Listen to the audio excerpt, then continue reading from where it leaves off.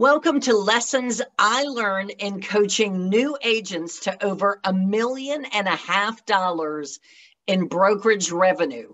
This was pure, flat revenue for the brokerage. And I'm going to share with you the lessons I learned along the way while I was leading those agents to those kind of fantastic numbers.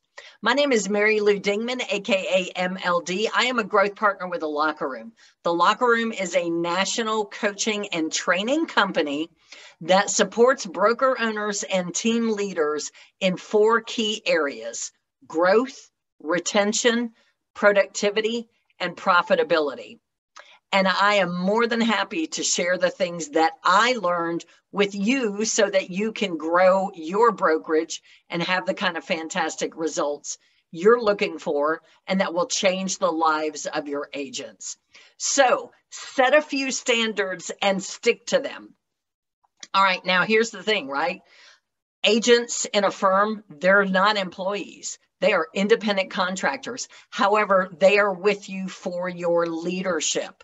And think about the fact that that people were W2 employees that sat at a desk and and there were expectations of them and while you can't mandate you can set standards and you should set standards for your firm.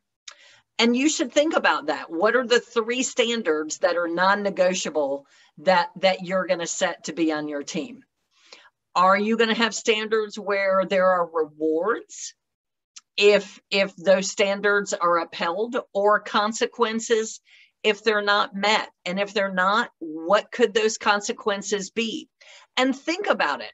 Standards don't have to be rewards and punishments. It it a standard could be that you say when you come to me with an issue, the standard is that you share with me the three things you did to solve those problems on your own.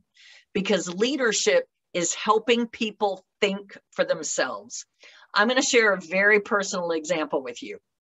So, when I was a productivity coach, I had a great rock star agent, and, and I knew I was going to be able to push him to this limit.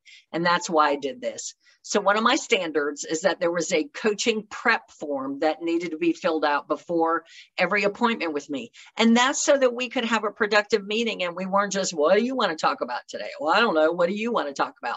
So, this prep form was a standard. And he walked in the door and he said, Hey, I'm sorry I'm late. I didn't get my prep form filled out. I had to go pick up my son. He's here right now. He's in the lobby working on homework. And yeah, I don't have my prep form.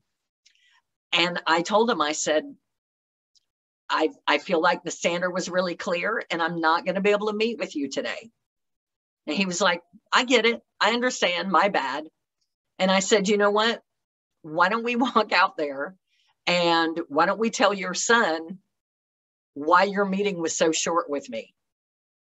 And we walked out where his son was working on his homework and he said, Hey, man, dude, I can't meet with my coach today because I really didn't turn in an assignment like homework. Uh, and so don't be like your dad. Make sure that you do what you're supposed to do. Now, I knew that I could do that with this agent. And I tell you what, he is his business, his volume now, he is on pace to build a team and he's doing great things in real estate. And I knew that that's the kind of challenge he wanted because if you don't have any standards, the people that do have standards are not going to stick around. So it would behoove you. And he became a better agent because of that experience and a better leader and a better dad to be honest with you. So don't be afraid to set standards. If you want to talk about this or anything else, you can always text me and we can set up an appointment 919 796 7512. Or you can email me mld at tlrnation.com.